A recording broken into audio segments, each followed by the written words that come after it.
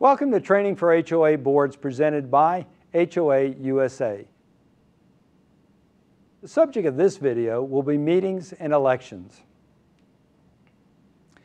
The association has a responsibility to conduct certain meetings and provide adequate notice. These meetings include the annual membership meeting, which is probably the most important. This can also include board meetings, whether they're regular or special. And then there can be special called meetings of the entire membership.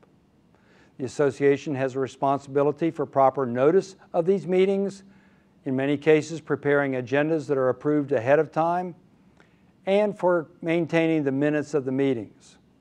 All of this consistent with Robert's Rules of Order. With regard to the agenda, it should contain the following.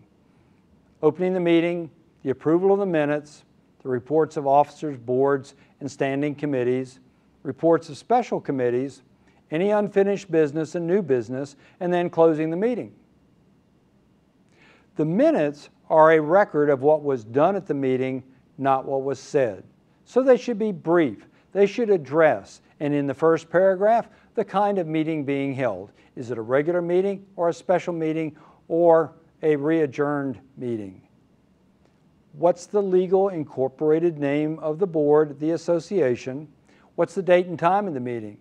Where the meeting is held, if that varies from month to month, and the fact that the chairman and the secretary were present, and if not, who was substituting, whether or not the minutes of the previous meeting were read and approved.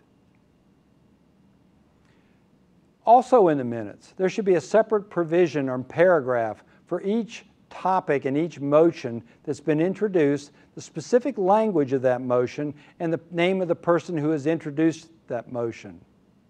Secondary motions should also be included unless they were lost or withdrawn.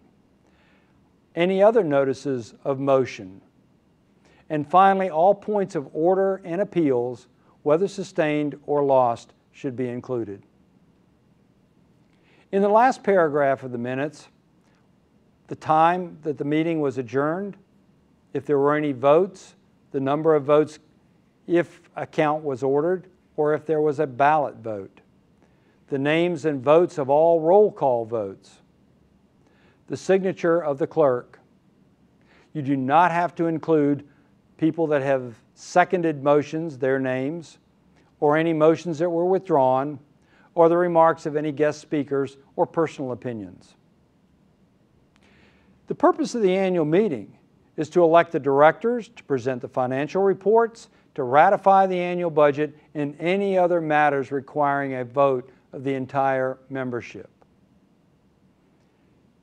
Quorums have to be reached, and this will be specified typically in the governing documents, how many people have to attend in order to reach a quorum and have a legitimate meeting where the business is understood and transacted properly. Some of your members will not be able to attend. They're absentee members, in which case they can vote by proxy. And a proxy is simply an agent who is legally authorized to act on behalf of another party.